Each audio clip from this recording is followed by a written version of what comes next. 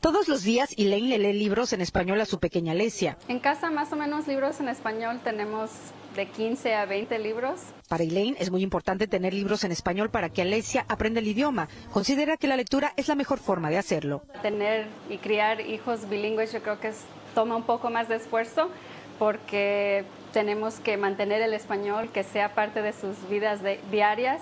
De acuerdo con la Oficina del Censo de Estados Unidos, se estima que en Los Ángeles casi el 40% de los hogares hablan español. Es Margarita. Tomando en cuenta las cifras y conscientes de la importancia del aprendizaje del idioma y de proporcionar material para su enseñanza en hogares y escuelas, Selene y Kiara abrieron en 2015 las puertas de una librería que lleva el mismo nombre, con libros exclusivamente en español.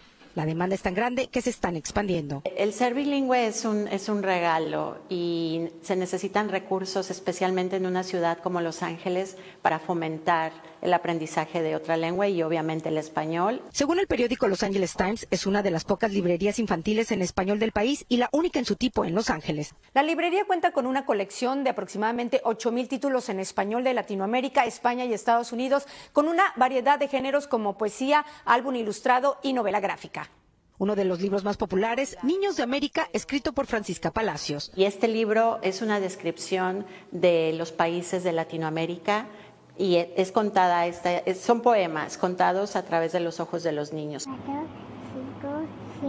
La lectura en español desde temprana edad es sin duda uno de los métodos más eficaces para el aprendizaje del mismo. Otros sienten miedo. Viernes, a sus 25 años, lo habla muy bien. Desde pequeña lee libros en ese idioma y asegura que el ser bilingüe le ha abierto puertas laborales. Por ejemplo, este trabajo que tengo aquí, trabajar con la librería, que es algo increíble, es una oportunidad fantástica y, no sería posible si yo no pudiera leer en español. ¿Qué ves ahí? Para Elaine es crucial contar con libros en español ya que la lectura es básica para enseñarle también a su pequeña sus raíces y cultura. Erika Flores, Noticias Telemundo.